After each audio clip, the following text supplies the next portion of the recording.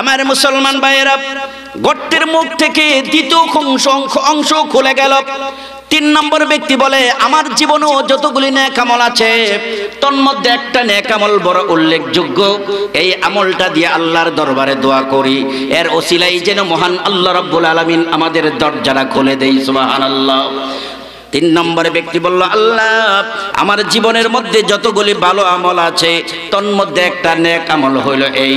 একদিন আমার মার জন্য খানা জোগাড় করার জন্য আমি বের হয়েছিলাম। সারাটা দিন কষ্ট করলাম, মার জন্য সময় মতো খানা দিতে পারলাম না। রাত্র গভীর হয়ে গেছে, আমি এসে দেখি আমার মা জননী ঘুমিয়ে গেছে। বাকি রাত্রটা আমি মার কাছে দাঁড়াইয়া দাঁড়াইয়া অপেক্ষা করলাম, আমার মা কোন সময়ে না জানি ঘুম থেকে উঠে? মা ঘুম থেকে উঠলে যেন আমি মাকে আমি খানা দিতে পারি। রাত্র যখন পুহাই, সকালবেলা আমার মার ঘুম ভেঙে গেল। মা ঘুম থেকে উঠে দেখে আমি সন্তান মার বালিশের কাছে দাঁড়ায় রইলাম খানা নিয়ে। তখন মা বলেছিল, বাবা, তুমি কি সারাটা রাত্র ঘুমাও নাই? আমি বলেছিলাম, না মা, আমি ঘুমাই নাই। কেন ঘুমাও নাই রে বাবা? তখন আমি মাকে বলেছিলাম, মা, সময় মতো তোমাকে খানা দিতে পারলাম না। এটাই তো আমার বড় বেয়াদবি হয়েছে। এই জন্য রাত্র গভীরে আমি খানা নিয়ে আসলাম। সকাল পর্যন্ত আমি তোমার জন্য অপেক্ষা করতেছি। তোমার মনে যদি কষ্ট হয়, আল্লাহর কুদরতি মনে কষ্ট হবে। রাসুল বলেছেন হৃদার রফি হৃদাল ওয়ালিদাইন। মা বাবার সন্তুষ্টি হলো আল্লাহর সন্তুষ্টি। মাগো তোমার যাতে কষ্ট না হয়, তোমার জন্য খানা নিয়ে সকাল পর্যন্ত আমি দাঁড়ায় রইলাম। তখন আমার মা আমার প্রতি রাজি খুশি হইয়া দোয়া করেছিল, আল্লাহ, তোমার তোমার এই বান্দা আমার এই ছেলে। আমি মার জন্য যেই পরিমাণ কষ্ট করেছে, আমি তার প্রতি রাজি এবং খুশি হয়ে গেলাম। আমার সন্তান যদি দুনিয়ার কোনো জীবনে বিপদে পড়ে, তুমি আমার দুয়ার উসিলা বিপদ থেকে মুক্তির ব্যবস্থা করে দিও।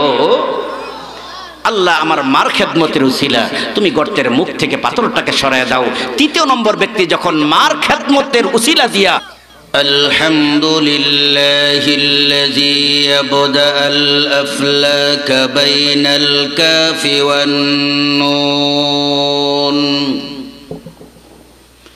إذا أراد شيئا أن يقول له كن فيكون. والصلاة والسلام على من كان نبيا.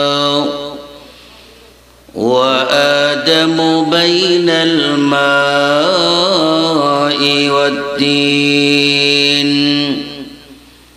وعلى آله وأصحابه أجمعين. أما بعد فأعوذ بالله من الشيطان الرجيم. بسم الله الرحمن الرحيم. فمن كان يرجو لقاء ربه فليعمل عملا صالحا. فليعمل عملا صالحا ولا يشرك بعبادته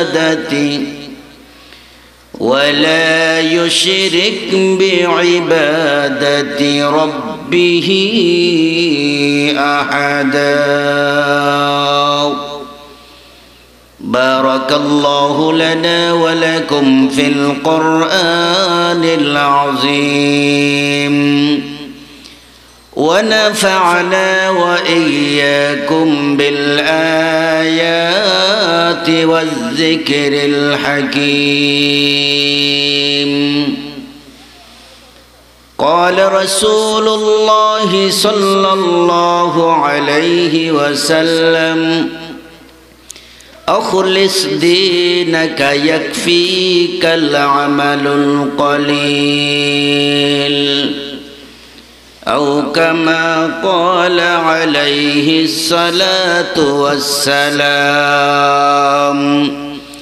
درود شريف اللهم صل على محمد وعلى آل محمد.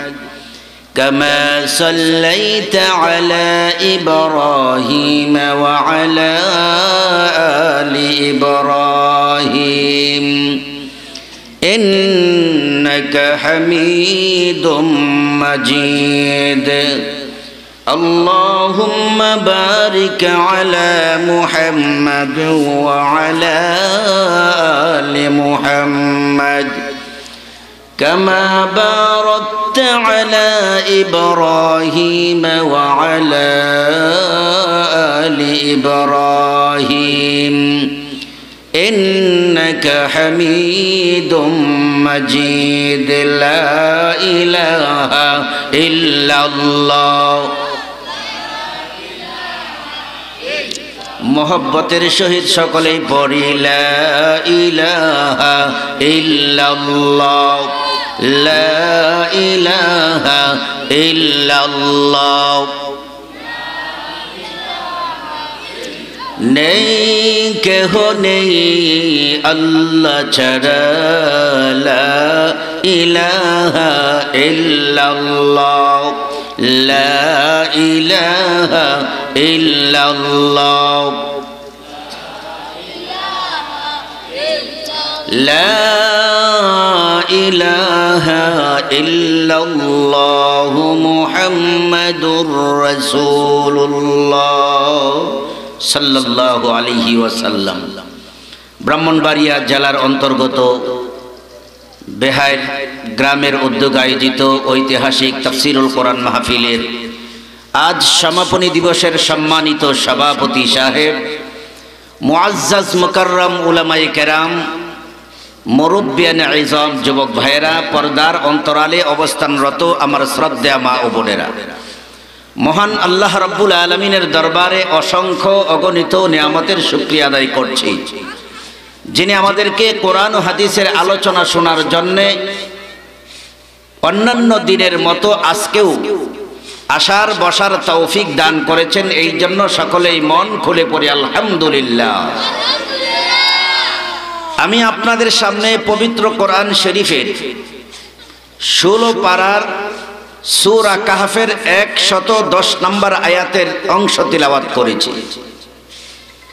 এই আয়াতকে সামনে রেখে কিছু আলোচনা করব। আল্লাহ আমাকে বলার, আপনাদেরকে শোনার অবশেষে সকলকে আমল করে ধন্য হওয়ার তৌফিক দান করুন, সকলে বলেন আমি আমি যেই আয়াতটি তিলাওয়াত করেছি, এই আয়াতটি কয়েকটি ঘটনার পরিপ্রেক্ষিতে নাজিল করা হয়েছে, যাকে শানে নজুল বলা হয়। নবী করিম সাল্লাল্লাহু আলাইহি ওয়াসাল্লামের জীবদ্দশায় একজন সাহাবী নবীজির কাছে এসে বললেন, হে আল্লাহর নবী, আমি তো হজ করতেছি। হজ করা অবস্থায় হজ্জের যতগুলি রোকন আছে, ফরজ আছে, ওয়াজিবাত আছে এইগুলি আমি নিয়মিত পালন করতেছি। তবে আমার কাছে এই কথাটা বড় পছন্দ লাগে। অন্য লোকেরা যেন এসে আমাকে হজরত অবস্থায় দেখেন। অন্য লোকে যদি আমাকে হজ অবস্থায় দেখেন, তাহলে আমার এটা বড় পছন্দ লাগে। এই ব্যাপারে আপনার কি অভিমত? রাসুল করিম সাল্লাহ আলিহি ওয়াসাল্লাম চুপ রইলেন। তুমি আল্লাহর বিধান হজ পালন করতেছ। আর হজ্জের বিধানগুলি পালন অবস্থায় অন্য লোক এসে দেখলে তোমার মনে খুশি লাগে। এই কাজটা ভালো না মন্দ, এটার সিদ্ধান্ত আমি দিতে পারব না। যেই আল্লাহ হজ ফরজ করেছেন, সেই আল্লাহ সিদ্ধান্ত দিবেন। দ্বিতীয় একটি শানে নজুল তফসিরের কিতাবের মধ্যে আসছে, একজন মুজাহিদ তিনি যুদ্ধ করতেন। যুদ্ধ করাটা ইসলামের জন্য এটা সাধারণ বিষয় নয়, এটা বড় কঠিন বিষয়। বর্তমান যুগে যার যার সম্পত্তি রক্ষা করার জন্যে, যান জীবন যাওয়ার জন্যে পুরুষরা যেমন অগ্রসর, এর চেয়ে মহিলা আরও বেশি অগ্রসর হয় হয় কি হয় না? দল ঠিক রাখার জন্য, ক্ষমতা ঠিক রাখার জন্য সহায় সম্পত্তির লোভে পড়ে বহু মানুষ যুদ্ধ করে, বহু মানুষ জগরা ফাসাদ করে। কিন্তু ইসলাম রক্ষা করার জন্য, যুদ্ধ করার মানুষ এখন পরিমাণে খুবই কম। কথা বলেন? কারণ ইসলামের মহব্বত যাদের অন্তরে আছে, তাদের কাছে জাত পছন্দ লাগে। আর যাদের ইসলামের মহব্বত অন্তরে কম, তাদের কাছে পাঁচ অক্ত নামাজ পড়াটাই বড় মুশকিল। কথা বলেন? আমার ভাইয়েরা, যারা জিহাদ করে তারা হইল আল্লাহর প্রিয় মানুষ। রাসুল করিম সাল্লাহ আলহি ওয়াসাল্লাম বলেছেন, তিন শ্রেণির মানুষকে দেখে আল্লাহ বড় খুশি হন, আনন্দিত হন। তন্মধ্যে এক শ্রেণির মানুষ যারা যুদ্ধ করার জন্যে জিহাদের ময়দানে দাঁড়ায় থাকে, তাদেরকে আল্লাহ তালা পছন্দ করেন সুবাহান আল্লাহ দুই নাম্বার হলো যারা শেষ রাত্রে তাহাজ্জুদ নামাজ পড়ার জন্য দাঁড়ায় তাহাজ্জুদ নামাজ পড়ার জন্য যারা শেষ রাত্রে উঠে আল্লাহর এবাদত করে, তাদেরকে দেখে আল্লাহ তালা মুস্কি মুস্কি হাসতে থাকেন।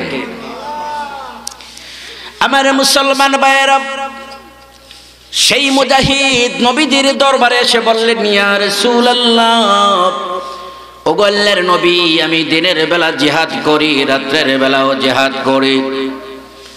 তবে আমার মনের মধ্যে বড় আনন্দ লাগে। আমার জিহাদরত অবস্থায় অন্য লোকেরা যদি আমাকে দেখে, তাহলে আমার মনের মধ্যে বড় আনন্দ লাগে। এই ব্যাপারে আপনার কি অভিমত? এই আনন্দ লাগাটা আমার জন্য কোনো ক্ষতির কারণ আছে কিনা? নবী করিম সাল্লাল্লাহু আলাইহি ওয়াসাল্লাম তার প্রশ্নের জবাব দিলেন না। কারণ নবীজি নিজের পক্ষ থেকে কোনো জবাব দেন না। যতক্ষণ পর্যন্ত আল্লাহর পক্ষ থেকে সমাধান না আসে। ما ينطق عن الهوى. إن هو إلا وحي يوحى. محمد هرگز نگفتا تا نگفتا جبرائيل জিবরাইল হরগজ না গুফতা, তা না গুফতা রব্বুন জালিল। আল্লাহ রব্বুল আলামিন কোরআন শরীফের মধ্যে বলেন, শুনো, মা ইয়ানতিকু আনিল হাওয়া। আমার বন্ধু মুহাম্মদ মন ঘরা ভাবে কোনো কথা বলেন না। যতক্ষণ পর্যন্ত জিব্রাইলের মাধ্যমে আমি আল্লাহ নবীর কাছে কোনো বার্তা না পাঠাই কোনি কোনো ওহি যতক্ষণ পর্যন্ত আমি আল্লাহ জিব্রাইলের মাধ্যমে নবীজির কাছে না পাঠাই, ততক্ষণ পর্যন্ত নবীজি কোনো কথা বলেন না। আওয়াজ করে বলেন সুবাহান আল্লাহ আজকে নবী এ দুনিয়ার মধ্যে নাই। নবীর উত্তর সরে উলামায়ে কেরাম আছে। কোন জিনিসটা সওয়াব আর কোন জিনিসটা গুনাহ? কোন জিনিস ভালো আর কোন জিনিস বন্ধ নির্ণয় করবে আল্লাহর কোরআন নবীজির হাদিসের মাধ্যমে আলেম ওলামাগণ। আরও জোরে কন। ডাক্তার সাহেব চিকিৎসার ব্যাপারে তার অভিজ্ঞতা আছে। ইঞ্জিনিয়ার সাহেব তার বিষের উপর অভিজ্ঞতা রাখে। কিন্তু কোনটা সওয়াব কোনটা গুনাহ ভালো আর মন্দ নির্ণয় করবে ওলামায়ে কেরাম। কিন্তু এখন আলেম ওলামা বাদ দিয়া আমরা মূর্খ লোকদেরকে এখন নেতা মেনে তাদের সাজেশন মতে নিজেরাও সুরে সুর মিলাই। কথা বলে? আমার মুসলমান ভাইয়েরা, ধর্মীয় ব্যাপারে এটা করলে হবে না। কোনটা জায়েজ, কোনটা না জায়েজ, কোনটা হালাল, কোনটা হারাম বলবেন আলে ওলামা। কথা কোন। আলে ওলামার মধ্যেও সাধারণ হলে হবে না। জমহুর ওলামায়ে কেরাম, বেশিরভাগ হক্কানে আলেম ওলামায়ে কেরাম, যেই কথার উপর একমত, আমাদেরও হতে হবে সেই কথার উপর একমত। আল্লাহর নবী বলেছেন, কিয়ামতের কয়েকটি আলামত রয়েছে। তন্মধ্যে একটা আলামত হলো কিয়ামতের পূর্বে মূর্খ লোকদের কাছে এক শ্রেণির মানুষ ফতুয়া অনুসন্ধান করার জন্য যাবে। ওই মূর্খ লোকেরা নিমে মোল্লা নিমে হাতিম হাকিম খতরা যান নিমে মোল্লা খতরা ইমান আদা ডাক্তার হলে রুগীকে মারার সম্ভাবনা আছে, আর আদা মৌলবি হইলে ইমান নষ্ট করার সম্ভাবনা আছে। নিমে মোল্লার কাছে এখন আমরা চলছি, আর নিমে ডাক্তারের কাছে চলছি, কথা বলেন ঠিক ঠিক না? আমার মুসলমান ভাইয়েরা, আসুন। তাই আল্লাহর নবী, বিশ্ব নবী কিছুই বলেন না। তখন আল্লাহ রাব্বুল আলামিনের পক্ষ থেকে সূরা কাহফের 110 নম্বর আয়াত নাজিল করে জানায় দিলেন فمن كان يرجو لقاء ربه فليعمل فليعمل عملا صالحا ولا يشرك ولا يشرك بعبادة ربه أحدا আল্লাহ রব্বুল আলামিন এই দুইজন সাহাবীর দুইটা ঘটনার পরিপ্রেক্ষিতে সূরা কাহফের 110 নম্বর আয়াত নাজিল করলেন আসুন এই আয়াতের মাধ্যমে আল্লাহ রাব্বুল আলামিন কি বুঝাইতে চান আল্লাহ রাব্বুল আলামিন বলেন ফামান কানা ইয়ারজু লিকা রাব্বিহি যে কেহ, যেই কোনো লোক, পুরুষ হোক, মহিলা হোক, যদি তারা আল্লাহর সাথে সাক্ষাৎ কামনা করে, তাদের জন্য উচিত হলো তারা যেন বেশি বেশি করে সৎ কাজ সম্পাদন করে। যারা বেশি বেশি করে নেক আমল করবে, ভালো কাজ করবে, তারা আল্লাহর সাক্ষাৎ লাভ করবে। যারা গুনার কাজ বেশি করবে, তারা কোনোদিন আল্লাহর দেখা দেখা সাক্ষাৎ তারা পাবে না। বিশ্লেষণ করব একটু পরে। এরপরে আয়াতে পরের অংশে আল্লাহ বলেন, ওয়ালা ইউশরিক বিইবাদাতি রাব্বিহি আহাদা। এবং তারা যেন আল্লাহ রাব্বুল আলামিনের ইবাদতের মধ্যে কোনো কাউকে শরিক না করে, লোক দেখানো ইবাদত যেন না করে, আল্লাহকে রাজি খুশি করার জন্য নামাজ পড়া হয়, জিকির করা হয়, কোরআন তেলাওয়াত করা হয় হজ কোরবানি সহ যত ধর্মীয় কাজ করা হয়, আল্লাহ বলেছেন, ওয়ালা তাদের প্রভুর ইবাদতের মধ্যে, বন্দিগির মধ্যে যেন কাউকে শরিক না করে। এই আয়াতের প্রথম অংশে রব্বুল আলামিন বলেছেন, যারা তাদের প্রভুর সাথে সাক্ষাৎ করতে চাই তারা যেন বেশি বেশি করে নেক আমল করে। এখন প্রশ্ন হলো, আল্লাহর সাথে সাক্ষাৎ করার কি লাভ? আল্লাহর সাথে সাক্ষাৎ না করলে কি ক্ষতি? আল্লাহর সাথে কোথায় সাক্ষাৎ হবে? সহি মুসলিম শরীফ, হাদিস শরীফের হাদিস। আল্লাহর নবী, বিশ্ব নবী বলেন, জান্নাতীদেরকে মহান আল্লাহ রাব্বুল আলামিন যখন জান্নাতের ভিতরে প্রবেশ করাইবেন, জান্নাতের ভিতরে নিয়ে কয়েকটা পুরস্কার দান করবেন। এক নাম্বার হলো প্রত্যেক জান্নাতীদেরকে জান্নাতের ভিতরে প্রবেশ করাইয়া সঙ্গে সঙ্গে তাকে সর্বপ্রথম গোসল করাইবেন। গোসল করাইলে কি লাভ হবে? আল্লাহর নবী বলেন, যত বৃদ্ধ লোকেরা আছে, জান্নাতের ভিতরে গোসল করার সঙ্গে সঙ্গে তেত্রিশ বছরের যুবকে পরিণত হয়ে যাবে। জান্নাতের ভিতরে গোসল করার সঙ্গে সঙ্গে কালো মানুষ সাদা হয়ে যাবে। সুবহানাল্লাহ। বৃদ্ধা মহিলা যারা, যাদের কমর বাঁকা হয়ে গেছে, তাদেরকে যখন গোসল করানো হবে, তাদের বাহির এবং ভিতর এমন ভাবে ওয়াশ হবে, ষোলো বছরের কুমারী অবিবাহিতা নারীর মতন যৌবনতা ফিরে আসবে।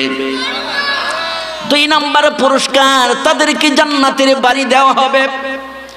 তিন নম্বর পুরস্কার হলো প্রতি জান্নাতীদেরকে মহান আল্লাহ রাব্বুল আলামিন।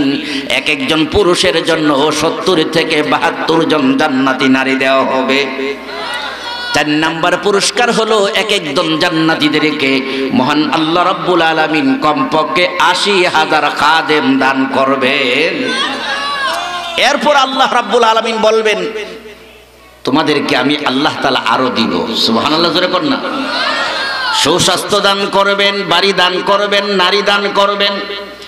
এরপর আল্লাহ রাব্বুল আলামিন বলেন, ওয়ালাকুম ফিহা মা তাশতাহি আনফুসুকুম, ওয়ালাকুম ফিহা মা তাদউন।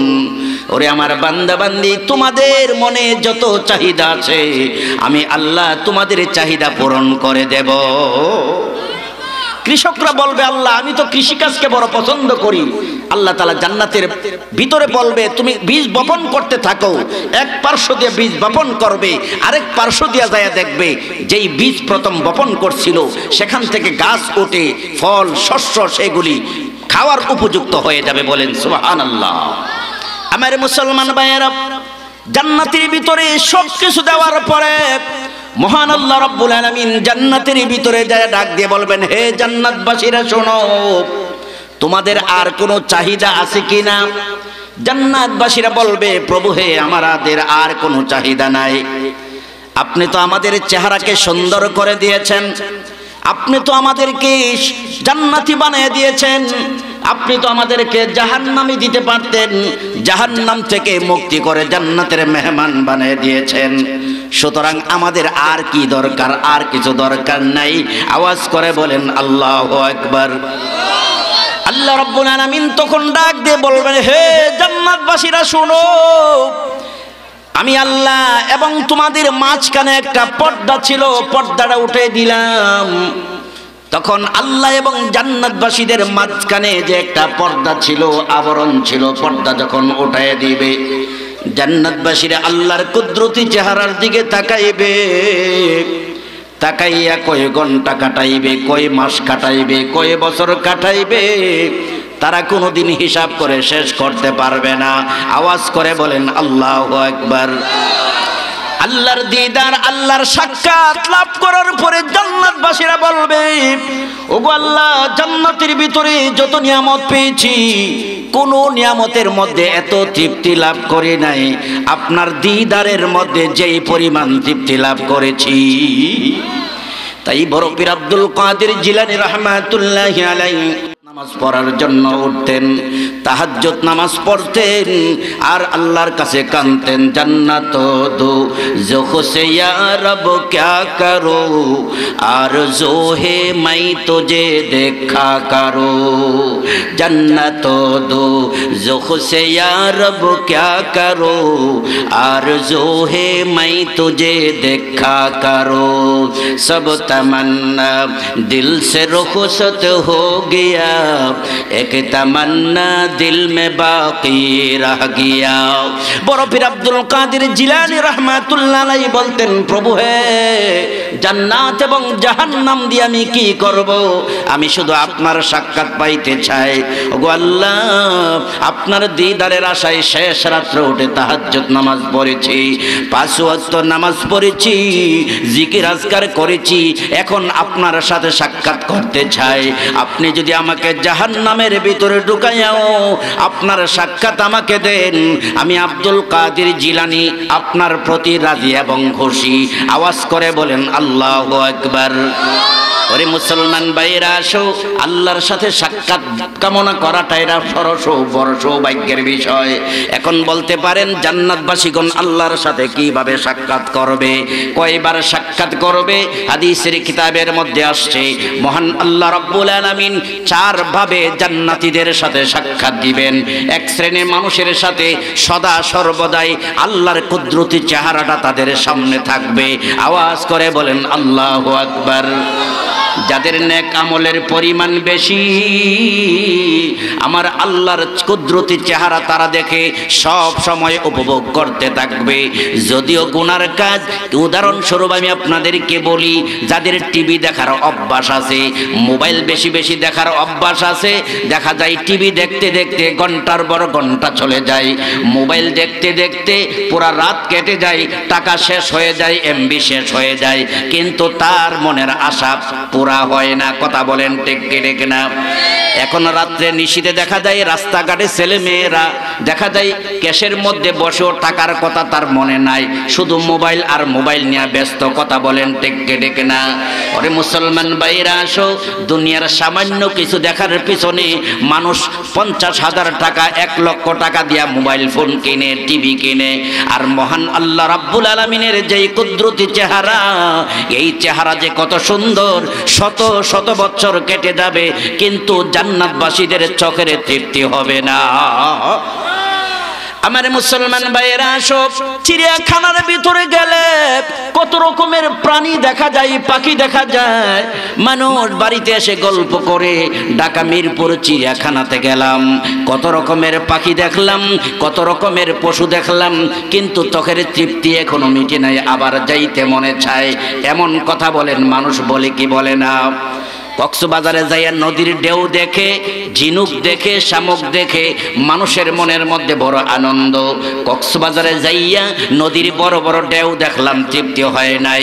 আবার যাইতে মনে চাই, কথা বলেন ঠিক খেটে কিনা আমার মুসলমান ভাইরা, দুনিয়ার সৃষ্টির যদি মানুষের কাছে এত প্রিয় লাগে, যেই আল্লাহ দুনিয়ার আঠারো হাজার মাখলুকাত সৃষ্টি করেছেন, ওই আল্লাহর কুদরতি চেহারা দেখলে কেমন মানুষ মনে করবে, চিন্তা করে দেখেন তোমার সৃষ্টি যদি হয় তো সুন্দর। না জানি তাহলে তুমি কত সুন্দর কত সুন্দর। তোমার সৃষ্টি যদি হয় তো সুন্দর।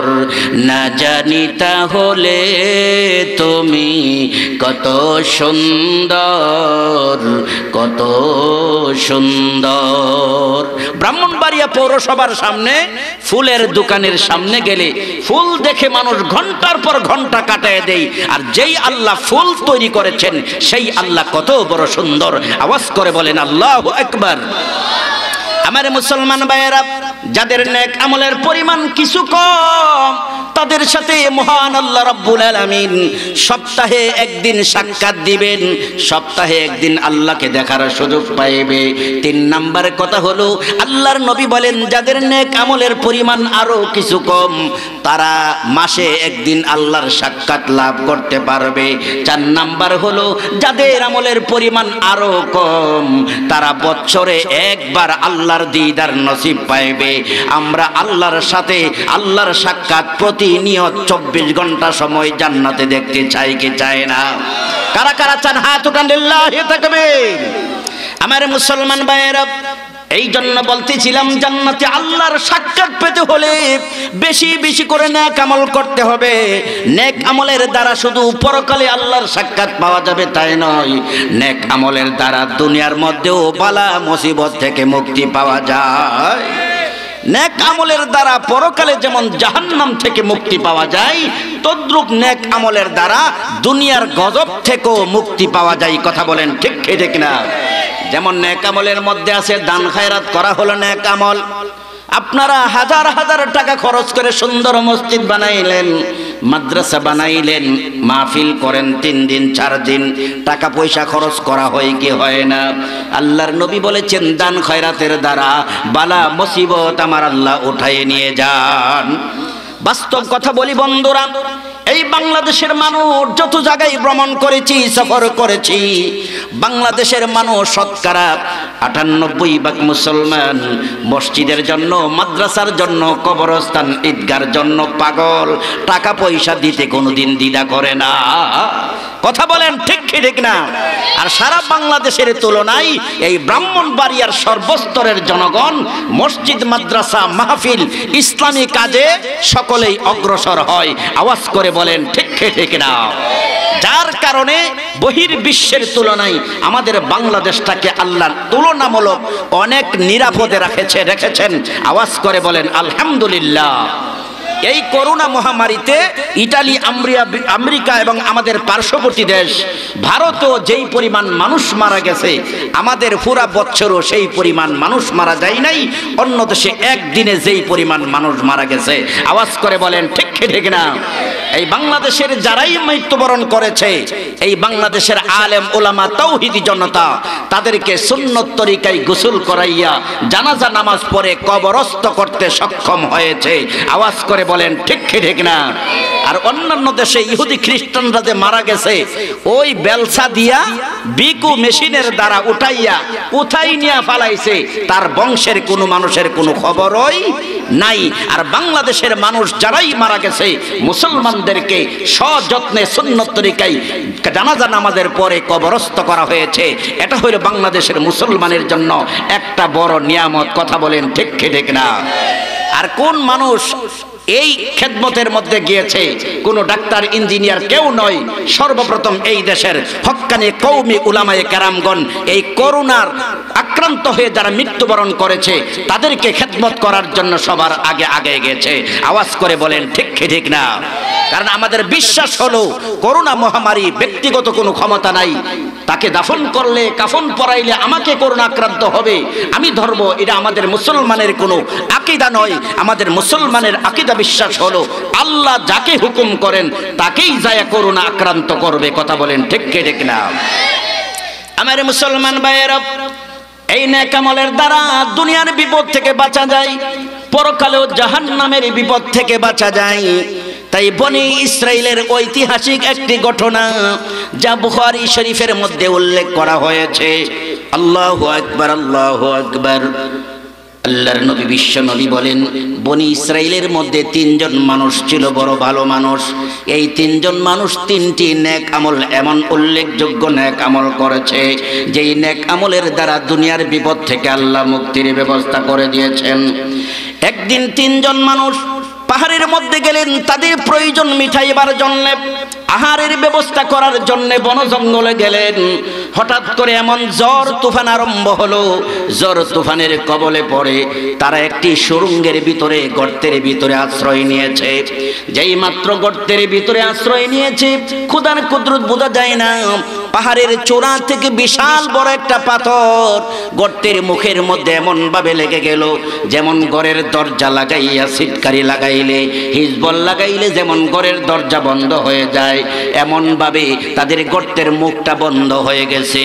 এই তিনজন মানুষ দীর্ঘ সময় পর্যন্ত গর্তের ভিতরে অবস্থান করার পরে ভাবতে লাগলেন, আমরা তো এখন বাড়িতে যাওয়ার প্রয়োজন, এমন এখন কীভাবে আমরা গর্তের ভিতর থেকে বের হব? তিনজন মিলে পাথরটাকে সরাইবার জন্য যতই চেষ্টা করে, কিন্তু তারা ব্যর্থ হয়। এই পাথরটাকে তারা সরাইতে পারে না। অবশেষে তিনজন পরামর্শ করে সিদ্ধান্ত নিল, হে ভাইরা শোনো, আজকে যেই কঠিন বিপদের মধ্যে পড়েছি, এই বিপদ থেকে মুক্তির জন্যে আমরা ব্যক্তিগতভাবে যেই চেষ্টা করেছি, এই চেষ্টার মধ্যে আমাদের সফলতা আসে নাই। চলো, যেই আল্লাহ বিপদ দিয়েছে, ওই আল্লাহর কাছে আমরা কয়েকটি ন্যাক আমল দিয়া দোয়া করি। আল্লাহ যেন দুনিয়ার ন্যাক আমলের উসিলা আজকে কঠিন বিপদ থেকে আমাদেরকে মুক্তির ব্যবস্থা করে দেন। তিন যুবকের মধ্যে একজন আল্লাহর কাছে বললেন, ওগো আল্লাহ, আমার জীবনের যত নেক আমল করেছি, ভালো কাজ করেছি তন্মধ্যে উল্লেখযোগ্য একটি নেক আমল আছে। ওই নেক আমল যদি তোমার দরবারে কবুল হয়ে থাকে, ওই নেক আমলের উসিলা আজকে আমাদের গর্তের মুখ থেকে পাথরটাকে সরাইয়া দাও। লোকটা বলল, প্রভু গো, আমি একজন বড় ধনী মানুষ ছিলাম। আমার বাড়িতে বহু কাজের লোক কাজ করতো। একদিন একজন কাজের লোক আমার বাড়িতে কাজ করল। অর্ধ দিবস কাজ করল অথবা পূর্ণ দিবস কাজ করল। বিকালে যখন বেতন নেওয়ার জন্য এসেছিল, তখন আমি তার বেতনটাকে দেই নাই। কায়দা কৌশল করে আমি হাতে রেখে দিলাম। এই লোকটা অবশেষে রাগ করে বাড়িতে চলে গেল। আমি মনে মনে চিন্তা করলাম, কঠিন হাসরের ময়দানে এই কর্মচারী লোকটা যদি আল্লাহর দরবারে মামলা করে, তাহলে তো আমার নেক আমল তাকে দিয়ে দিতে হবে। এই জন্য আমি কি করলাম, তার পারিশ্রমিক যেই বেতন আছে, এই বেতনের টাকা দিয়ে একটি ছাগল কিনে আমি রাখালের কাছে দিয়ে দিলাম। আর রাখালকে বলে দিলাম, রাখাল রে, এই বকরির মালিক কিন্তু আমি না। এই বকরির মালিক অমুক এলাকার একজন কর্মচারী। সে আমার বাড়িতে কাজ করেছিল, বেতন নিয়ে যাই নাই। অদূর ভবিষ্যতে যদি কোনোদিন টাকা নেওয়ার জন্য আসে, আমি তোমাকে আগেই ওসিয়ত করলাম, এই বকরি থেকে যতগুলি বকরি হবে, বাচ্চা হবে, সবগুলি অমুক কর্মচারীকে তুমি দিয়ে দিও। আমাদেরও এমন কিছু মানুষ আছে, কর্মকর্তা, কর্মচারীদের বেতন আত্মসাৎ করার জন্য কায়দা কৌশল করে কথা বলেন, আছে না নাই? আল্লাহ রাসূল বলেছেন, শ্রমিকের বেতন তার শরীরের গাম শুকাইবার আগে আগে প্রদান করে দাও। আজকে বহু শিল্পপতি এমন আছে, লক্ষ লক্ষ টাকা শ্রমিকদের আত্মসাৎ করে শিল্পপতি হয়ে গেছে। মনে করতে হবে, কঠিন হাসরের ময়দানে আপনার চেয়ে বড় ভিখারি আর কেউ হবে না, কথা বলেন, ঠিক কি, ঠিক না? হাদিস শরীফের মধ্যে একটা ঘটনা আসছে। আল্লাহর নবী একদিন সাহাবে কেরামগণকে বলেন, সাহাবীরা রে, সবচেয়ে বড় ভিখারিকে তোমরা কি বলতে পারো? সাহাবে কেরাম বললেন, যে হুজুর যারা হাত নাই, পা নাই, টাকা নাই, পয়সা নাই, ঘর নাই, বাড়ি নাই, সে তো হলো সবচেয়ে বড় ভিক্ষুক, সবচেয়ে বড় ভিখারি। আল্লাহর নবী বলেন, সে আসলে ভিখারি নয়, ভিখারি হবে সেই লোক, যেই ব্যক্তি পাহাড় পরিমাণ সওয়াব নিয়া হাসরের ময়দানে আল্লাহর দরবারে যায় দাঁড়াইবে পাহাড় পরিমাণ সওয়াব থাকার পরেও একদল মানুষ আমি আল্লাহর আল্লাহর কাছে আল্লাহর কাছে যায় আবেদন করবে, হে আল্লাহ। অমুক ব্যক্তির কাছে আমি পাঁচশত টাকা পাই, অমুক ব্যক্তির কাছে একটা পানের টাকা পাই, অমুক ব্যক্তির কাছে সিগারেটের টাকা পাই, অমুক ব্যক্তির কাছে চালের টাকা পাই, অমুক ব্যক্তির কাছে চার টাকা পাই, এমনভাবে শত শত মানুষ আল্লাহর কাছে যায় অভিযোগ দিবে। তখন আল্লাহ রাব্বুল আলামিন বলবেন, হে ফেরেস্তারা শোনো আমার এই বান্দার যদিও পাহাড় পরিমাণ নেক রয়েছে, যত পাওনাদার আছে, তাদেরকে তাদের টাকার সমপরিমাণ মিলাইয়া মিলাইয়া নেক কেটে কেটে দিতে থাকো। অবশেষে পাওনাদারদেরকে নেকের অংশ দিতে দিতে লোকটা এমন হয়ে যাবে, নিচ্ছ হয়ে যাবে, ভিখারি হয়ে যাবে, তখন চোখের পানি ফালাইবে, হায় হায়। বারো বার হজ করলাম, বারোটা মসজিদে দান করলাম, মাদ্রাসা বানাইলাম, মসজিদ বানাইলাম, এই সবগুলি এখন আমার নাই, আমার ঋণ, আমি যাদের কাছে ঋণাদার ছিলাম, তাদেরকে দিয়ে দিলাম। রাসুল বলেন, ওই ব্যক্তি হবে সবচেয়ে বড় ভিখারি। দশ হাজার টাকা নিয়ে আনন্দবাজার গেলেন। এখন এই টাকাগুলি চুরি নিয়ে গেলে যেমন আপনি নিচ্ছ, ঋণ করে অথবা কর্জা করে আপনার হাট বাজার করতে হবে। দুনিয়াতে তো ঋণ করে, কর্জ করে আপনি হাট বাজার করতে পারবেন। কিন্তু পরকালে যদি আপনার নেক আমলের পাহাড় পরিমাণ চলে যায়, তাহলে আর কর্জা করা কাহার পক্ষে সম্ভব হবে? আওয়াজ করে বলেন, সম্ভব হবে? এই জন্য যারা কর্মচারী, কর্মচারীদের বেতন কেউ আত্মসাত করবেন না। শরীরের গাম শুকাইবার আগে আগে দেওয়া দেওয়া উচিত। এটা হলো আমাদের নবীর বাণী, কথা বলেন ঠিক ঠিক না? আমার মুসলমান বয়রত এই একটা বকরি থেকে শত শত বকরির পাল হয়ে গেল। অনেক দিন পরে সেই কর্মচারী লোকটা এসে আমার কাছে বলল, হে আমার মহাজন, বহুদিন আগে আপনার বাড়িতে আমি কাজ করেছিলাম, কিন্তু আমার পারিশ্রমিক আপনি দেন নাই, বেতনটা দেন নাই। যদি মেহরবানি করে আপনি আমাকে বেতন দিতেন, এখন বড় উপকার হতো। আমি তখন ওই কর্মচারীকে বলেছিলাম, শোনো, ওই যে দেখা যায় পাহাড়ের মধ্যে এক দল, এক পাল ছাগলের দল রয়েছে, সবগুলি তোমার, সবগুলি তুমি নিয়ে যাও। সেই লোকটা বলেছিল, হে আমার মহাজন, আপনি কি আমার সাথে মস্কারি করেন, টিটকারি করেন? তখন আমি বলেছিলাম, না, আল্লাহর কসম করে বলি, আমি তোমার কাছে ঠাট্টা বিদ্রুপ করি না, মস্কারি করি না। তোমার একদিনের বেতনের টাকা দিয়া প্রথমে একটা বকরি খরিদ করেছিলাম। এই বকরি থেকে এতগুলি বকরি হয়েছে, নিঃসন্দেহে এগুলির মালিক আমি নই, তুমি সবগুলি নিয়ে যাও। তখন ওই কর্মচারী আপনারা বলেন, খুশি হবে না, বেজার হবে? কেমন খুশি হইল রে বন্ধু? সেই লোক গরিব ছিল, এখন মুহূর্তের মধ্যে ধনী হয়ে গেছে। যাওয়ার পথে আল্লাহর কাছে দোয়া করেছিল, আল্লাহ, আমার মহাজন এত ভালো মানুষ, আমার মালিক এত ভালো মানুষ, আমার বেতনের টাকা দিয়া নিজের তত্ত্বাবধানে আমাকে আজকে এতগুলি বকরির মালিক বানায় দিল। আমার এই মালিক যদি কোনোদিন বিপদে পড়ে, তুমি বিপদ থেকে মুক্তির ব্যবস্থা করে দিও। কর্মচারীর দোয়া কাজে লাগেনি? কথা বলেন লাগেনি? স্বামীর দোয়া যেমন স্ত্রীর জন্য কাজে লাগে, ছেলের দোয়া যেমন মা বাবার কাজে লাগে, মা বাবার দোয়া যেমন ছেলের কাজে লাগে, কর্মচারীর দোয়া মালিকের জন্য কাজে লাগে, মালিকের দোয়া কর্মচারীর জন্য কাজে লাগে। কথা বলেন ঠিক কি, ঠিক না আমাদের অনেক মানুষ আছে, কাজের লোকরার সাথে গোলামের মতন ব্যবহার করে, আছে না? সাবধান, এমন ব্যবহার করতে নাই, যেই আল্লাহ আপনাকে ধনী বানাইলো, সেই আল্লাহই তো তাকে গরিব বানায় আপনার বাড়িতে পাঠাইলো। সুতরাং তাকে ঘৃণা করা উচিত নয় মালিকের আগে কর্মচারী পাঁচশো বছর আগে জান্নাতে যাবে। জোরে আমার মুসলমান ভাইয়েরা, হে আল্লাহ, ওই কাজটা যদি ভালো করে থাকি, এর উসিলা, গর্তের মুখ থেকে তুমি পাথরটাকে সরায়া দাও। রব্বুল আলামিন তার মোনাজাত কবল করে গর্তের ভিতর মুখ থেকে পাথরটাকে তিন ভাগের এক ভাগ জায়গা খুলে দিলেন, সুবহানাল্লাহ। বাহিরের আলু বাতাস ভিতরে যায়। দ্বিতীয় ব্যক্তি কয়ে, মোনাজাত তো কাজে লাগবে, আমার জীবনে একটা নেকামল আছে। এই নেকামল দিয়ে যদি আল্লাহর দরবারে মোনাজাত করি, হতে পারে বাকি জায়গাটা আল্লাহ রব্বুল আলামিন খুলে দিতে পারে। দ্বিতীয় ব্যক্তি বলল, আল্লাহ, আমি ছিলাম এলাকার একজন ধনী মানুষ। এলাকার একজন মহিলা আমার কাছে সাহায্য চাইলো। হে ধনী ভাই, তোমার কাছে আমি সাহায্যের জন্য এসেছি। তুমি আল্লাহর হস্তে কিছু টাকা পয়সা, গম, আটা আমাকে দাও। তখন আমি মেয়েটাকে বলেছিলাম, ওগো মেয়ে, তোমার যা প্রয়োজন সব নিতে পারবা, তবে আমার সাথে ভালোবাসা বিনিময় করতে হবে, অবৈধ কাজ করতে হবে বলেন না উজুবিল্লাহ মহিলাটা বাড়িতে চলে গেল, আবার বাচ্চা কাচ্চাদের কান্নার কারণে পুনরায় আবার মালিকের কাছে আসলো। মালিকে বারবার কুপ্রস্তাব দিল, একবার, দুইবার, তিনবার। মেয়েটা এই বেবিচার কাজ করে তার কাছ থেকে সাহায্য দিতে রাজি নয়। অবশেষে বেশি অভাবের কারণে বাধ্য হইল। মালিককে বলল, মালিক হে, তুমি যদি আল্লাহর হস্তে আমাকে দান নাই করো, তাহলে তো বেশি অভাবের কারণে তোমার সাথে আমার ইজ্জত দিতে আমি বাধ্য হইলাম। আল্লাহর কুদরত বোঝা যায় না, যেই মাত্র ধনী লোকটা মেয়েটার গায়ে হাত লাগাবে, এর পূর্ব মুহূর্তে মেয়েটার চোখ দিয়ে এমন ভাবে পানি বের হতে লাগল, ঝর্ণার মতন পানি বের হইতে লাগল। শরীরটা থরথর করে গলা কাটা মুরগির মতন কম্পন করতে লাগল। তখন আমার মনের মধ্যে একটা পরিবর্তন এসে গেল। তখন আমি মেয়েটাকে জিজ্ঞেস করলাম মগো মহিলা, এখন তো ভালোবাসা বিনিময় করার সময় তোমার মনের মধ্যে আনন্দ থাকার কথা। আমার মনের মধ্যে আনন্দ থাকার কথা, এই মুহূর্তে তোমার শরীর কেন কম্পন করছে? তোমার চক্ষু দিয়ে কেন পানি বের হইতেছে?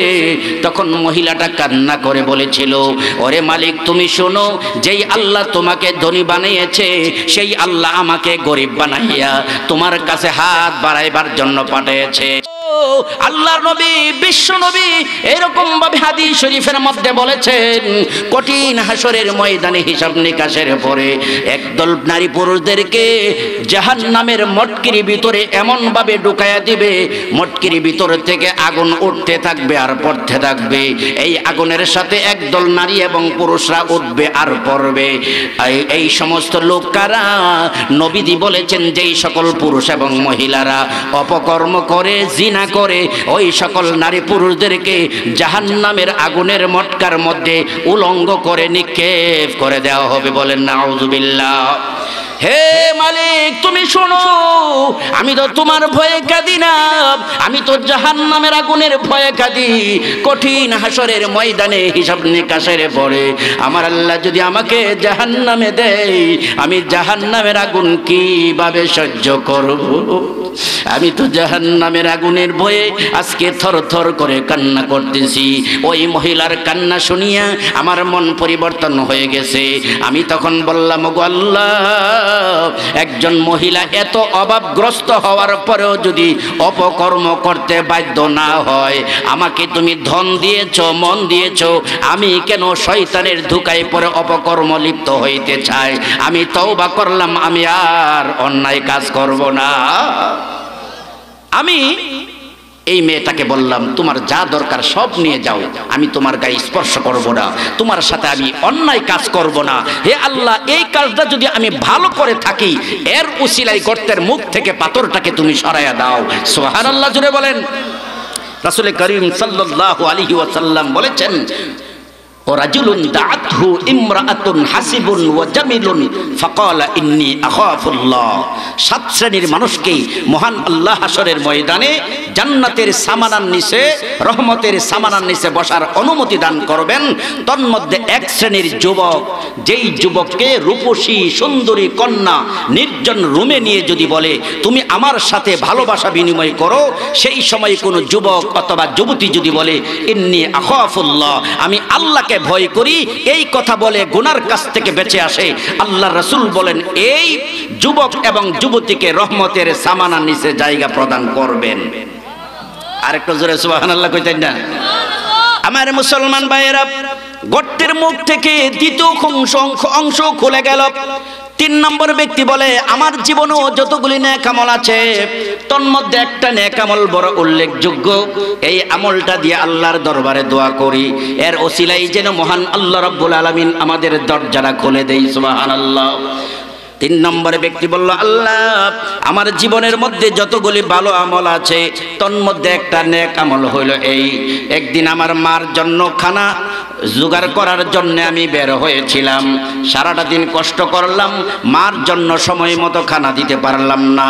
রাত্র গভীর হয়ে গেছে, আমি এসে দেখি আমার মা জননী ঘুমিয়ে গেছে।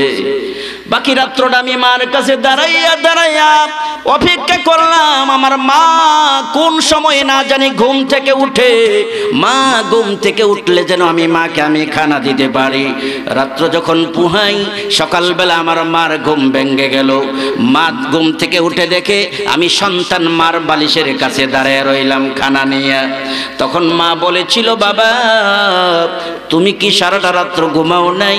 আমি বলেছিলাম, না মা, আমি ঘুমাই নাই। কেন ঘুমাও নাই রে বাবা? তখন আমি মাকে বলেছিলাম, মা, সময় মতো তোমাকে খানা দিতে পারলাম না। এটাই তো আমার বড় বেয়াদবি হয়েছে।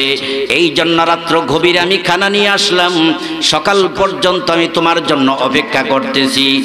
তোমার মনে যদি কষ্ট হয়, আল্লাহর কুদরতি মনে কষ্ট হবে। রাসূল বলেছেন, রিদার রফি রিদাল ওয়ালিদাইন। মা বাবার সন্তুষ্টি হলো আল্লাহর সন্তুষ্টি। মাগো তোমার যাতে কষ্ট না হয়, তোমার জন্য খানা নিয়ে সকাল পর্যন্ত আমি দাঁড়ায় রইলাম। তখন আমার মা আমার প্রতি রাজি খুশি হইয়া দোয়া করেছিল, আল্লাহ, তোমার তোমার এই বান্দা আমার এই ছেলে। আমি মার জন্য যেই পরিমাণ কষ্ট করেছে, আমি তার প্রতি রাজি এবং খুশি হয়ে গেলাম। আমার সন্তান যদি দুনিয়ার কোনো জীবনে বিপদে পড়ে, তুমি আমার দুয়ার উচিলা বিপদ থেকে মুক্তির ব্যবস্থা করে দিও। আল্লাহ আমার মার খেদমতের উসিলা। তুমি গর্তের মুখ থেকে পাথরটাকে সরায় দাও। তৃতীয় নম্বর ব্যক্তি যখন মার খেদমতের উসিলা দিয়া আল্লাহর কাছে দোয়া করলেন, গর্তের মুখটাকে পুরাপুরি খুলে তিনজন মানুষকে মুক্তির ব্যবস্থা করে দিলেন। আওয়াজ করে বলেন, আল্লাহ আকবার। আল্লাহর নবী বলেছেন সালাসাতুল্লাহ তুরাদ্দু দাওয়াতুহুম। তিন ব্যক্তির দোয়া আল্লাহ রাব্বুল আলামিন ফেরত দেন না। এক নাম্বার হলো, নেই বিচারক সর্দার মেম্বার চেয়ারম্যান, যখন আল্লাহর কাছে দোয়া করে, আল্লাহ রাব্বুল আলামিন কবুল করে নেন। দুই নাম্বার হলো, মাজলুম ব্যক্তি যখন দোয়া করে, নির্যাতিত ব্যক্তি ভালো দোয়া করলে কবুল হয়, মন্দ দোয়া করলেও আল্লাহর দরবারে কবুল হয়। তিন নাম্বার হলো, দাওয়াতুল ওয়ালিদাইন। কোন মা বাবা যখন সন্তানের জন্য দোয়া করে, ভালো দোয়া করল ডাইরেক্ট কবুল হয়, মন্দ দোয়া করল ডাইরেক্ট কবুল হয়। মহান আল্লাহ রাব্বুল আলামিন মা বাবার দোয়া কোনোদিন ফেরত দেন না। হে বেহাইরের মুসলমান ভাইরা, শোনো, এই তিনটি ঘটনা বনি ইসরায়েলের লোকের শুনলাম। এই তিনটা নেক আমল আমাদের মধ্যে থাকতে হবে। আমাদের বাড়িতে যদি কেউ কর্মচারী কাজ করে, আমরা কোনোদিন তাদের বেতনের টাকা আত্মসাৎ করব? আরও জোরে বলেন, করব। দুই নাম্বার হলো, বন্ধুরা, যদি কোনো অন্যায় অপকর্ম করার সুযোগ আসে, আমরা যদি অপকর্ম থেকে বেঁচে থাকি, আল্লাহ আমাদেরকে বিপদ থেকে বাঁচাইবে। তিন নাম্বার হলো, আমাদের মা বাবার অনেক অনেকেরই মা বাবা আছে। অনেকের মা বাবা নাই, যাদের মা বাবা আছে মা বাবাকে যদি আমরা খুশি করতে পারি মা বাবাকে যদি খেদমত করতে পারি, দুনিয়ার মধ্যেও পাবো মুক্তি, পরকালের মধ্যেও পাবো মুক্তি। কথা বলেন, ঠিক ঠিক দাও। আমার মুসলমান ভাইয়েরা, আসুন। তাই আল্লাহ রাব্বুল আলামিন বলেছেন, ফামান কানা ইয়ারজু লিকা রাব্বিহি ফালইআমাল আমালান সালিহা।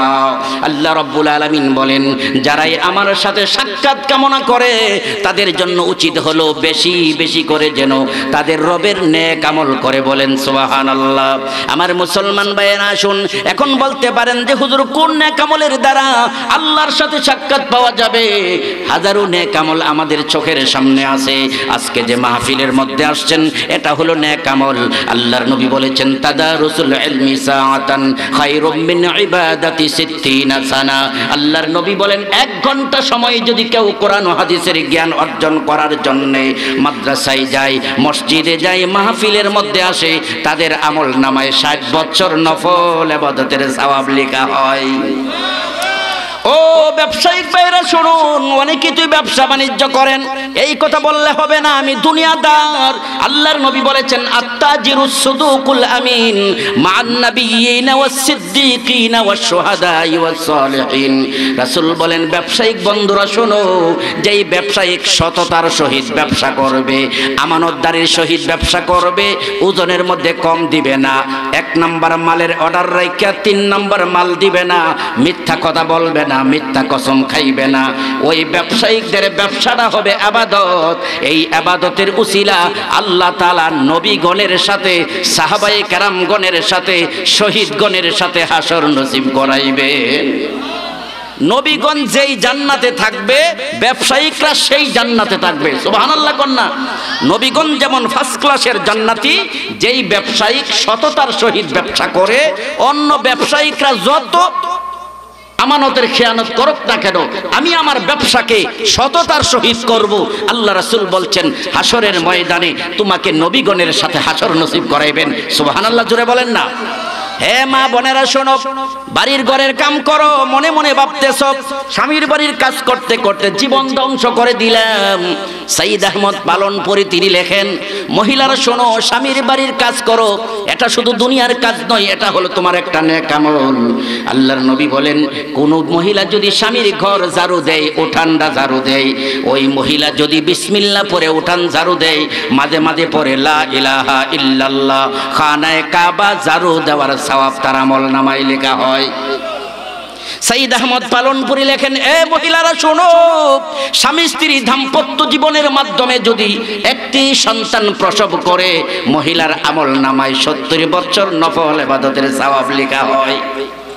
আর একটু জোরে কর আল্লাহর নবী বিশ্ব নবী বলেন, মহিলা শোনো, বাচ্চার কান্নার কারণে অনেক মহিলারা রাত্রের বেলা রীতিমতো ঘুমাইতে যার তিনটা বাচ্চা আছে একটা কয় হুয়া? কয়নি বারোটা সময়? আর একটা কলা? রাতের বাজে বারোটা এসআই কলা, কথা কন। আর মাও জানে না কলা কোথায় আছে। কিন্তু মার নেটওয়ার্ক কিন্তু খুব মজবুত নেটওয়ার্ক আমরা মহিলাদের সাথে যদিও রাত্রে থাকি, কিন্তু বাচ্চা কয়বার কানে, কয়বার পেশাব করে, আমাদের খবর নাই, পুরুষ যারা আছি। কিন্তু হুয়া করতে দেরি হয়, মার ঘুম ভাঙতে দেরি হয় না। আওয়াজ করে বলেন, ঠিক ঠিক না? এটা গ্রামীণ ফুলের নেটওয়ার্ক নয়, এর চেয়ে আরও শক্তিশালী নেটওয়ার্ক কথা বলেন? সাইদ আহমদ পালনপুরি বলেন, হে মহিলারা, শোনো, বাচ্চার কান্নার কারণে যদি কোনো মহিলা রাত্রের বেলা ঠিক মতো ঘুমাইতে পারে নাই, প্রতি রাত্রের বিনিময়ে বৃষ্টি গোলাম আজাদ করার সওয়াব দেওয়া হয়। আগে মানুষ বেচা কিনা হয়তো এখন কোটি টাকা দিয়েও মানুষ কিনতে পাওয়া যাবে না। একজন মহিলার আমল নামাই প্রতি রাত্রে বিশ কোটি টাকার অনুমান দান করার সব লেখা হয়। তাহলে বোঝা গেল মহিলারা যে স্বামীর বাড়ির কাজ করল, এটাও নেক আমল। আল্লাহ একবার বলেন। ও মুসলমান, তোর মধ্যে সবচেয়ে বড় অনেক আমল হলো। আল্লাহ রসুল বলেছেন সকল ইবাদতের মাথা হলো নামাজ।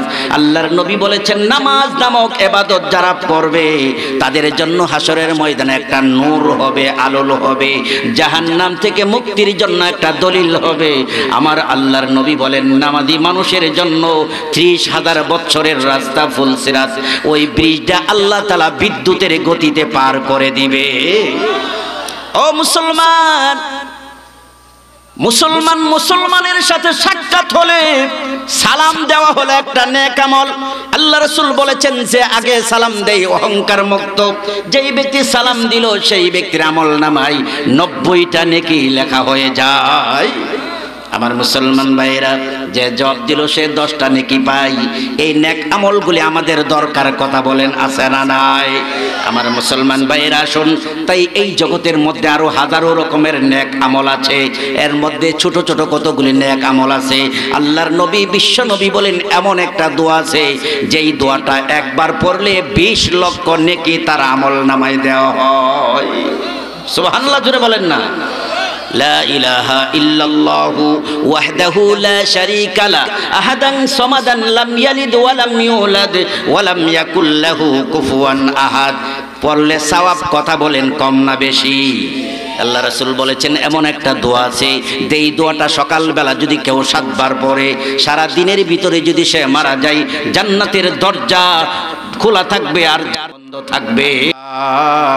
যারা আমি আল্লাহর সাথে সাক্ষাৎ করতে চাই, তাদের জন্য দুই নম্বর কর্মসূচি হলো তাদের রবের ইবাদতের মধ্যে যেন কোনো শরিক না করে আল্লাহর নবী, বিশ্ব নবী বলেন, শোনো, আমি আমার উম্মতের জন্য সবচেয়ে বড় ভয় করতেছি, সবচেয়ে বড় আশঙ্কা করতেছি, আমার উম্মতেরা না জানি ইবাদতের মধ্যে শরিক করে। সাহাবায়ে কারাম বললেন, ইয়া রাসূল আল্লাহ আল্লাহর নবী গো, ইবাদতের মধ্যে কীভাবে আল্লাহর সাথে শরিক করে? আল্লাহর নবী, বিশ্ব নবী বলেন, যেই সকল মানুষরা আল্লাহর ইবাদত করে মানুষকে দেখাইবার জন্যে আল্লাহর ইবাদত করে মারহাবা লওয়ার জন্য, ওই সমস্ত মানুষ আল্লাহর সাক্ষাৎ লাভ করতে পারবে না বলেন না আউযুবিল্লাহ কেউ যদি দান করে আমাকে মারহাবা বলবে, দান করল, ঠিক কিন্তু তার আমল নামার মধ্যে সওয়াব লেখা হবে আরও জোরে বলেন, সওয়াব লেখা হবে। এই জন্য আল্লাহ রব্বুল আলামিন বলেছেন, ফাওয়াইলুল লিল মুসাল্লিন আল্লাযীনা হুম আন সালাতিহিম সাহুন। আল্লাহ রব্বুল বলেন ওই সমস্ত মানুষের জন্য দুর্ভোগ। যেই সমস্ত মুসলমান নামাজ পড়ে কিন্তু অলসতা করে, নামাজের প্রতি যত্নবান নয়, ওই সমস্ত মানুষের জন্য হইল দুর্ভোগ। দুই নাম্বার হলো আল্লাহ দিনাহুম আং সলাতিহিম সাহুন আল্লাহ দিনাহুম ইউরাউন। যারা মানুষকে দেখাইবার জন্য নামাজ পড়ে, মানুষকে মারহাবা লওয়ার জন্য আবাদত করে এই জন্য আল্লাহ রব্বুল আলমিন বলেছেন যারা মানুষকে দেখাইবার জন্যে, মানুষকে খুশি করার জন্য নেক আমল করে, ওই সমস্ত আমলকারীদের জন্য হইল দুর্ভোগ রয়েছে, তারা হইল জাহান্নামি। নাউজুবিল্লাহ জুড়ে বলেন। এই জন্য আল্লাহর নবী বিশ্ব নবী বলেছেন, আন্নাসু কুল্লুহুম হালকা ইল্লাল আলিমুন, ওয়াল আলিমুনা কুল্লুহুম হালকা ইল্লাল আমিলুন, ওয়াল আমিলুনা কুল্লুহুম হালকা ইল্লাল মুখলিসুন, ওয়াল মুখলিসুনা আলা খাতারিন আযীম। আল্লাহর নবী বলেন, সমস্ত মানুষ ধ্বংসের পথে, তবে যারা জ্ঞানী আলেম, তারা ধ্বংসের পথে নয়। নবীজি আবার বলেন, আলেম সম্প্রদায় তারাও ধ্বংসের পথে। যারা আমল না করে, যারা আমল করে, তারা ধ্বংসের পথে নয়। এরপর আল্লাহর নবী বলেছেন, আমলকারীরাও ধ্বংসের পথে। যদি তার মধ্যে এখলাস না থাকে, আন্তরিকতা না থাকে, নিয়ত ভালো না থাকে, আল্লাহ রাসূল বলেছেন, ওয়াল মুখলিসুনা আলা খাতারিন আযীম। যাদের আন্তরিকতা আছে, এখলাস আছে, তারা ভয়ঙ্কর অবস্থায় আছে, ঝুঁকিপূর্ণ অবস্থায় আছে। কোন রাস্তার মধ্যে যদি ব্রিজ ভেঙে যায়, সামনে একটা সাইনবোর্ড দেওয়া থাকে, সাবধান। সামনে ঝুঁকিপূর্ণ সেতু, কথা বলেন। লাল পতাকা দিয়ে সংকেত দেওয়া হয়, সামনে হলো ঝুঁকিপূর্ণ সেতু। সাবধান, ধীরে ধীরে চলুন। সাতাশ টনের বেশি মাল নিয়ে ভিজের উপর দেওয়া যাবেন না। আল্লাহ রাসূল বলেন, যেই আলেম, যেই আমির সাহ যেই হাদি সাহ যদিও নিখুঁতভাবে আবাদত করে, কিন্তু এই লোকটাও বড় ঝুঁকির ভিতরে আছে। আল্লাহর অলি প্রখ্যাত মুফাসির কোরআন আল্লামা নুরুল ইসলাম অলিপুরি দামত বারাকাত হুম তিনি বয়ানের মধ্যে একদিন আলোচনা করেছিলেন, এক লোক শেষ রাত্রে তাহাজুত নামাজ পড়ার জন্য উঠছে। তাহাজুত নামাজ পড়ে সে যদি মনে মনে ভাবে, মনে হয় এই বিহারি গ্রামে আমি সবার আগে তাহাজুত নামাজ পড়ার জন্য উঠলাম, মনে মনে যে কল্পনা জল্পনা করল, এটাই তার গর্ব, অহংকার লোক দেখান হলো, তার এবাদত ক্যান্সেল হয়ে গেছে। আওয়াজ করে বলে, নাউজুবিল্লাহ। তো আমরা নামাজ পড়লে এমন কিছু কিছু হইল, মনে হয়নি। কথা বলেন, হয় কি হয় না? যদি কোনোদিন তাহাজ্জুদ নামাজ পড়তে পারি, আওয়াজ সারা গ্রাম ছুটে কথা কন না কেন? দেখা যায় সবে বরাত, সবে কত রাত্রে অনেকে গল্প করে, হুজুর, আজকে দেড়শো রাকাত নফল নামাজ পড়ছি। কথা কন, কয় রাকাত পড়ছেন? দেড়শো রাকাত পড়ছি। উস্তাদুল মোহতারাম আল্লামা রহমতুল্লাহ সাহেব রহমতুল্লাহ আলা একটা উদাহরণ দিতেন। একটা মুরগি ডিম পারে প্রতিদিন কয়টা? না সাইটটা পারে একটা ডিম পারে একটা ডিম ছাওয়ার পরে কক্কর কক এমন বাঘ দেয় এত আওয়াজ করে, প্রতিবেশী গরম হয়, মালিকে জারু দিয়ে বাইরাইয়া ঘর থেকে বাইর করা লাগে। আওয়াজ করে বলে, ঠিক কি, ঠিক না? আর একটা গাবি বছরে একটা বাচ্চা দে, এক বছর উপরে বাছুরটার দাম হয় দশ থেকে পনেরো হাজার টাকা। প্রতিদিন গাবিটা তিন কেজি দুধ দেয় কিন্তু তার কোনো চাউল কথা কর নাই। আমাদের অবস্থাটা হলে এমন সুডো আমল করলে আওয়াজটা বেশি, আর দেখা যায় আল্লাহওয়ালা বুজুর্গ মানুষরা আমল বেশি করতেন কিন্তু আওয়াজ দিতেন না। আওয়াজ করে বলেন, ঠিক ঠিক না। আল্লাহর নবী, বিশ্ব নবী বলেন হাসরের ময়দানে তিন শ্রেণির মানুষকে জাহান্নামি বলবেন। এক শ্রেণির মানুষকে ডেকে বলবেন, হে ধনী লোক তুমি জাহান্নামে যাও। ধনী লোকটা বলবে, আল্লাহ, কেন? আমি তো লক্ষ লক্ষ টাকা মাদ্রাসায় দিয়েছি, মসজিদে দিয়েছি। ঈদগাহ কবরস্থানে জনগণের খেদমতে আমি আত্মনিয়োগ করেছি। আজকে এত লক্ষ লক্ষ টাকা দান করার পরে আমি কেন আজকে জাহান্নামে যাব? তখন আল্লাহ রাব্বুল আলামিন বলবেন, তুমি মানুষের মারহাবা নেওয়ার জন্যে, সাইনবোর্ড লাগাইবার জন্যে, ব্যানার লাগাইবার জন্যে, মিছিলের জন্যে, তুমি দুনিয়াতে সুনাম অর্জন করার জন্যে দান খায়রাত করেছিলে। আজকে দুনিয়াতে সব কিছু তুমি মারহাবা পেয়েছ। আজকে পরকালে তোমার জন্য কিছুই নাই। নাউজুবিল্লাহ, সুরে বলেন, আজকে অনেক বাইরা তো আছে হ্যাঁ? কত রকমের নাম, কথা কন না কেন? দুর্নীতির পাহাড়, কিন্তু শুধু নাম লয়া ব্যস্ত। আওয়াজ করে বলেন ঠিক ঠিক না। দুই নম্বর আল্লাহ আলেম এক শ্রেণির আলেম কেটাকে বলবেন, তোমরা জাহান নামে যাও। আলেম উলামার বলবে, আল্লাহ, কেন আমি জাহান নামে যাব? ওয়াজ করলাম, মসজিদ বা, মসজিদে নামাজ পড়াইলাম, মাদ্রাসা বানাইলাম, কত কিছু করলাম। আমার দ্বারা লক্ষ লক্ষ মানুষ হেদায়েতের আলো পেয়েছে। আজকে আমি কেন জাহান নামে যাব? তখন আল্লাহ তালা বলবেন, দুনিয়াতে তোমার সুনাম অর্জন করা ছিল তোমার উদ্দেশ্য। দুনিয়াতে তোমাকে এই বলবে, সেই বলবে। বহুত কিছু হয়েছে। তোমার নিয়তের মধ্যে ছিল গলত এই জন্য দুনিয়াতে সুনাম যথেষ্ট হয়েছে। আজকে তোমার জন্য কিছুই নাই বলেন নাউজুবিল্লাহ আমাদের জন্য আরও বড় বিপদ, কথা বলেন ঠিক কি, ঠিক না? আমি বড় আলেম হইলাম, আমি বড় ফিসরাব হইলাম, আমি এই হইলাম, সেই হইলাম। গর্ব যদি আল্লাহ রসুল বলেছেন, একটা অনুপরিমাণ গর্ব যদি কেউ করে, তার এবাদত একটাও আল্লাহর দরবারে কবুল হবে না। আওয়াজ করে বলেন নাউজুবিল্লাহ তিন নম্বর আল্লাহর নবী বলেন আরেক শ্রেণির মানুষকে আল্লাহ রাব্বুল আলামিন জাহান্নামী বলবেন, যারা হলো যোদ্ধা জেহাদের ময়দানে যায়, শহীদ হয়ে গিয়েছে। যেই শহীদ গরের জন্য আল্লাহর নবী বলেছেন, বিনা হিসাবে তারা জান্নাতে যাবে। ওই শহীদগণকে বলবে, জাহান্নামে যাও। শহীদগণ বলবে, আল্লাহ, কেন আমি জাহান্নামে যাব? আমি তো ইসলাম রক্ষা করার জন্য আন্দোলন করেছি, জেহাদ করেছি, বুকের তাজা রক্ত দিয়েছি। আজকে কেন আমি জাহান্নামে যাব? তখন বলা হবে, দুনিয়াতে মানুষ তোমাকে বীর পুরুষ বলবে বড় যোদ্ধা বলবে, বড় পালওয়ান বলবে। সুতরাং দুনিয়ার মধ্যে বহু সুনাম হয়েছে। আজকে পরকালে তোমার জন্য কিছুই নাই। তখন অবশেষে জাহান্নামে যাইতে বাধ্য। যেই জিনিসের লাভ বেশি, এই জিনিসের ক্ষতিও বেশি। ব্রাহ্মণবাড়িয়া থেকে যদি আপনি এখানে আসেন বেহার আসেন রিক্সা দিয়ে আসলে অ্যাক্সিডেন্ট করলে বেশির চেয়ে বেশি একটু চামড়া সিলে টিলে যাইব। আর যদি বিমান কেউ বিমানে চলে আর অ্যাক্সিডেন্ট করে, তাহলে তার দেহের কোনো অংশই খুঁজে পাওয়া যাবে না। কথা বলেন ঠিক ঠিক না? যেই জিনিসের সুবিধা বেশি, এই জিনিস অ্যাক্সিডেন্ট করলে ক্ষতিও বেশি। তিন শ্রেণির মানুষের মর্যাদা আল্লাহর কাছে বেশি।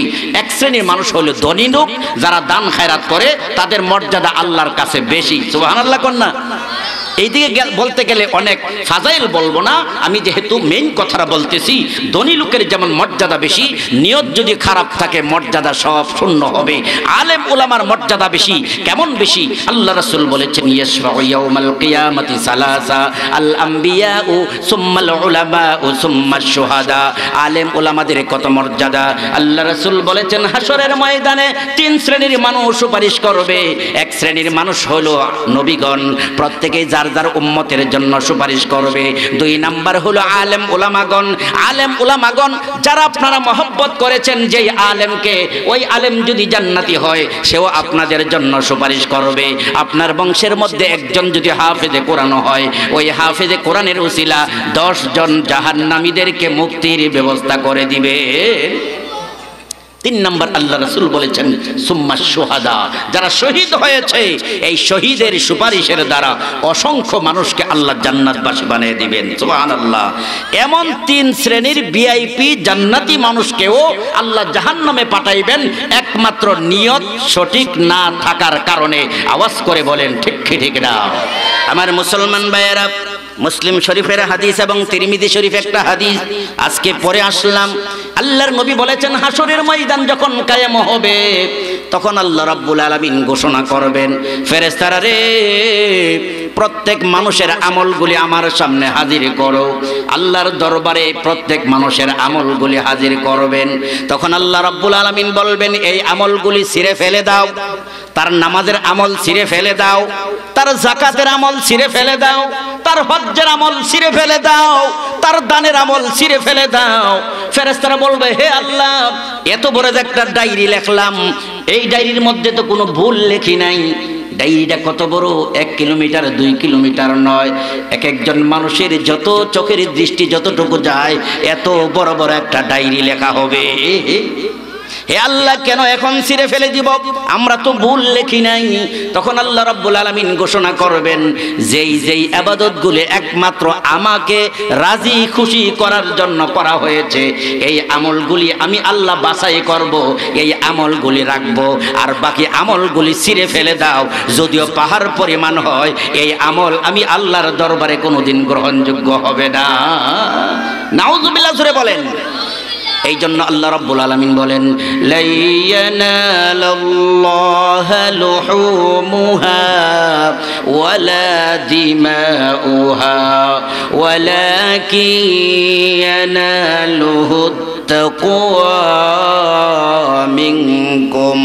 যদিও কোরবানি সম্পর্কে আল্লাহ বলেছেন, দুনিয়ার মানুষেরা শোনো, কোরবানির পশুর গোশত, রক্ত কিছুই আমি আল্লাহর কাছে পৌঁছে না। একমাত্র পৌঁছে তার আন্তরিকতা, যার নিয়ত ভালো, হালাল টাকা দিয়া কোরবানি করেছে। তার কোরবানির পশুর রক্ত মাটিতে পড়বার আগে আগে আমি আল্লাহর দরবারে তা কবুল হয়ে যায়। ও মুসলমান ভাইয়েরা আসুন। এই জন্যে হাসরের ময়দানে যদিও ডায়েরি ভরা নে কামল যদি আমার নিয়ত খালেস না থাকে, এই আবাদত আল্লাহর দরবারে কবুল হবে না। কথা বলেন ঠিক ঠিক না? এই জন্য আমার ভাইয়েরা আসুন, আল্লাহ রব্বুল আলামিন বলেছেন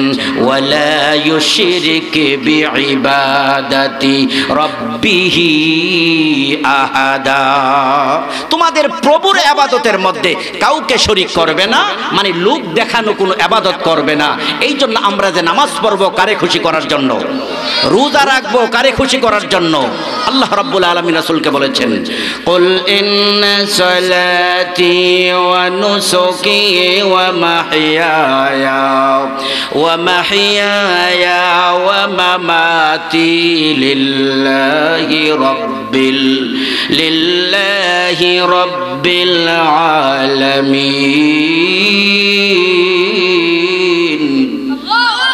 রাব্বিল আলমিন বলেছেন, হে আমার বন্ধু, আপনি বলুন নিশ্চয় আমার নামাজ, আমার কোরবানি, আমার জীবন, আমার মরণ বিশ্ব জগতের লালন পালন কর্তা মহান আল্লাহর জন্যে, রাসূলকে আল্লাহ যা বলেছেন, আমাদের জন্য তা কথা বলেন, ঠিক ঠিক না?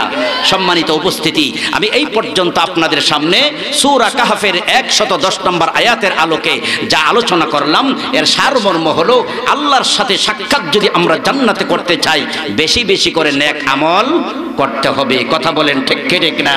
দুই নাম্বার কথা হলো এই আয়াতের শেষ অংশে আল্লাহ বলেছেন, ওয়ালা ইউশরিক রাব্বিহি আহাদা।